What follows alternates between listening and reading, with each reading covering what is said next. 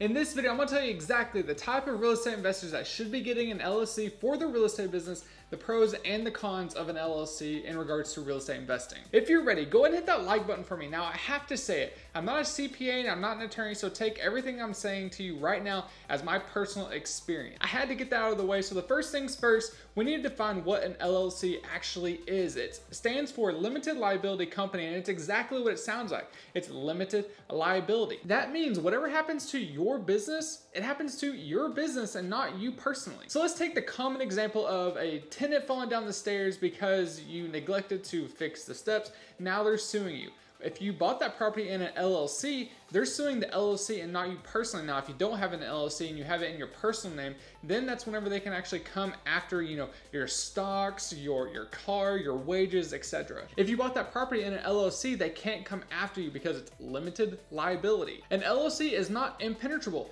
its corporate veil can be pierced. That means that even if you bought the property in, under an LLC, they can actually come after you personally. Now, this doesn't happen all the time, and there are ways around that, but I'll get into that later in the video. Now that you know what an LLC is and how it can protect you, let's talk about some of the cons of an LLC. The first thing that comes to my mind when I think of a con when it comes to an LLC is startup costs. Whenever you're creating an LLC either on your own or with a lawyer, there are some startup costs. And depending on what state and how you structure your LLC, it can range between about $100 and $500. Okay, that's $500 down the drain. Well, now you have to keep up with the LLC. So there are some annual costs to keeping that LLC active. Again, whatever state you create the LLC with, it's gonna be, you know, about $100, $200, $300 to maintain that LLC every single year. Again, this all depends on what state you're forming that LLC. Not all states are created equal. Some states have better protection. Some states, you know, it costs more. Some states it costs less.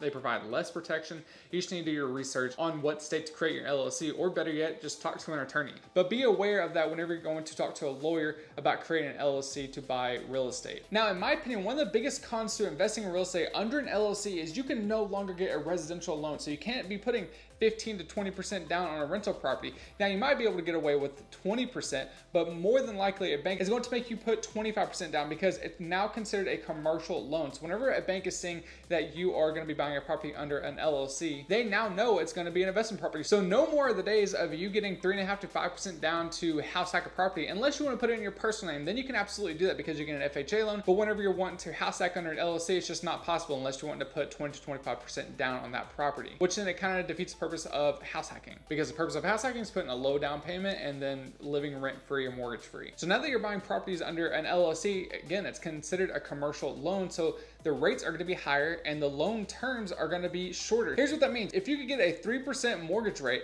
well, now whenever you're dealing with commercial rates, it's going to be higher. So you might be getting a 4% interest rate. Now, whenever it comes to loan terms, they're most likely not going to give you a 30 year loan term. They're going to be giving you more like a 20 to 25 year loan term. It eats into your cash flow because that's going to be higher payments. If it's going to be a lower loan term, so like 25 or 20 to 25 years loan term instead of 30, again, that's going to eat into your cash flow. Now, one way to avoid all this is buying it in your name and then quit claiming it out of your name into your LLC. But beware of this because if you do this and it gets back to the bank and you don't tell your bank and it gets back to them and they find out because they will be due to insurance reasons, they now have grounds to call your mortgage due. Now, whatever mortgage is left, let's just say you bought the property for $200,000 and you still have a loan for $100,000.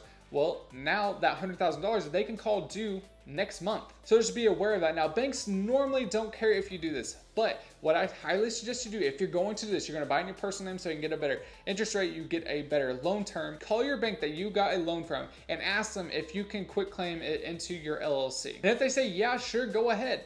Now you want that in writing. So get that in an email, get that in some form of writing and so whenever, you know, this happens and they're like, oh, actually, you know, we're gonna call your mortgage due, now you have an email or some written form saying that you could do it. That's just one way to cover your bases. Okay, that's enough bashing of an LLC. We're gonna get to some pros, but before we do that, if you want a real estate game plan to help you accelerate your financial freedom, you can hop on a call with me with the link in the description down below and take whatever situation you are in and create a custom game plan for you to help you achieve your financial freedom. Now let's get into those pros. Even though the corporate veil can be pierced, it's most likely not going to happen. But the biggest pro is you're keeping your business and your personal life separate. But I want to give you a helpful tenant. So let's just say that, you know, you bought a property under an LLC and the tenant decides to sue your business. Now let's just say you have that one property inside that LLC and that property doesn't have any equity. Now it doesn't really make sense for the tenant to sue that LLC because there's not much equity inside that property, so they're most likely not going to sue you. Now let's just say, for example,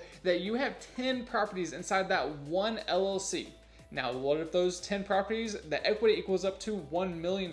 You can bet your bottom dollar that the tenant is going to try and get as much money of that million dollars as they can because it doesn't matter what property that they're suing for, it matters that they're suing the business. So to understand this better, let's use an example as in they were going to sue you personally. Well, now they can sue your, your wages, they can sue to get your car, they can sue to get all these other different businesses, stocks, etc. So whenever they sue the business, they're suing everything inside of that business. So whenever I get this question all the time of how many rental properties should I be having in one LLC, my sweet spot is three because it has enough cash flow to cover the legal side of it, you know, maintaining and creating the LLCs and having three properties inside of one LLC, more than likely you're not gonna have enough equity to make a tenant sue you worth it. Before I get into another big pro of buying rental property under an LLC, go and hit that subscribe for me down below and click the bell icon to get notified when I upload a new video just like this one. Another big perk of buying rental property under an LLC is privacy. So anytime anyone buys a property, the owner's information is going to go into the county records. So at any point, a tenant can look up their address at their county records office and find out who the owner of that property is. So let's just say you bought it under your personal name.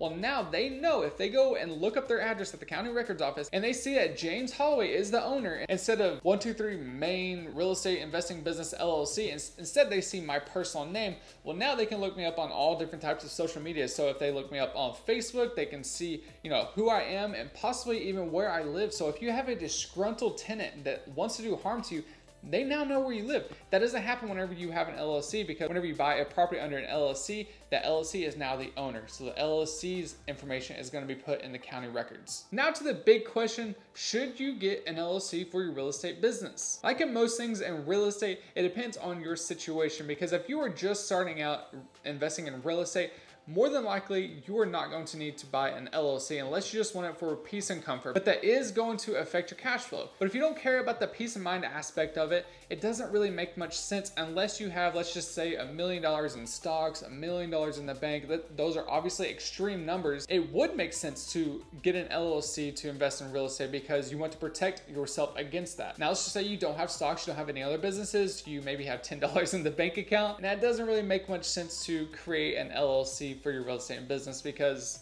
there's not much someone can sue you for. But you know who would have the best advice on whether or not you should get an LLC is an attorney and a CPA. They can look at your specific situation and tell if you need an LLC right now or if it's okay to wait. If you're new to real estate investing, there's a video popping up right here that shows you exactly how to run your numbers the right way and the fast way. So if you don't know how to do that, go ahead and click on that video right there or just book a call with me in the link in the description down below.